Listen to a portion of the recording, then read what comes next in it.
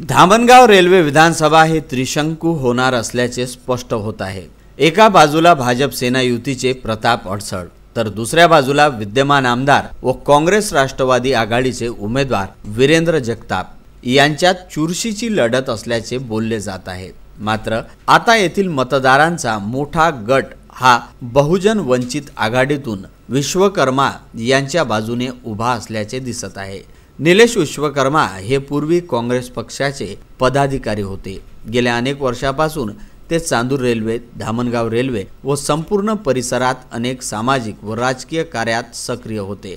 यामुळे त्यांना मोठा जनाधार यावेळी मिळत आहे. तर दुसरीकडे भाजप सेना युतीचे उमेदवार प्रताप अडसळ यांचे वडील विद्यमान आमदार व वरिष्ठ भाजपा पदाधिकारी अरुण अडसड यांची धामणगाव विधानसभेत मजबूत पकड आहे. मात्र जातीय समीकरण बघता व वीरेंद्र जगताप यांचे सध्या स्थितीत धामणगाव विधानसभेमधील कार्य बघता दोन हजार एकोणीस मधील धामणगाव विधानसभा ही अतिशय चुरशीची होणार हे स्पष्ट दिसत आहे.